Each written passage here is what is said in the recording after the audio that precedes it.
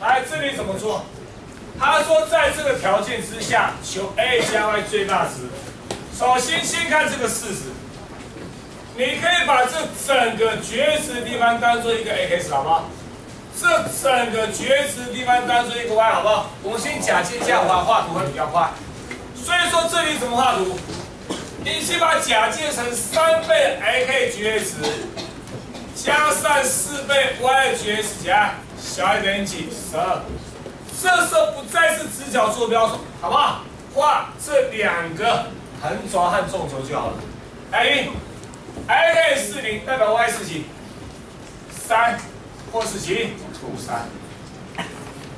y 是零呢？x 是几？四。负多少？负四。麻烦你把这四个点连起来，这样行不行？各位，很好。今天求 a 加 y 最大值、最小值怎么办？麻烦你把这四个端点找到。来，全部听听看我，告诉我这些中心点是几？一负二。令它为零，令它为多少？一负二。以一负二为中心，听老师讲话。往上、往下移几个？三个。回答我，上下移动看什么轴？y 轴。以一负二为中心，往上移几个？三格。所以往上加几个？三格。y 原本是负二，对不对？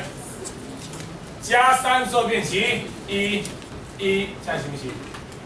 以一负二为中心，往下移几个？三格。上下移动看起 y，y 原本是负二，对不对？往下移三个，负二减三，所以说这个点是几？一负。以一负二为中心，往右往左移几个？四个。往右移四个四级？五负二。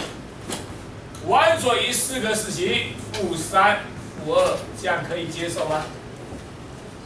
各位，很好，以一负二为中心嘛，往上加三个变几？一，往下减三个变几？负五。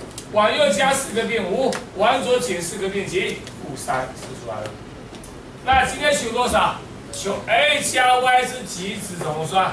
麻烦你把这几个点，把这四个点一负五负二一一，看负三负二带进去好不好？一加负负四，五加负二三，一加一二，负三加负二五。所以带下去之后，告诉我三是什么值？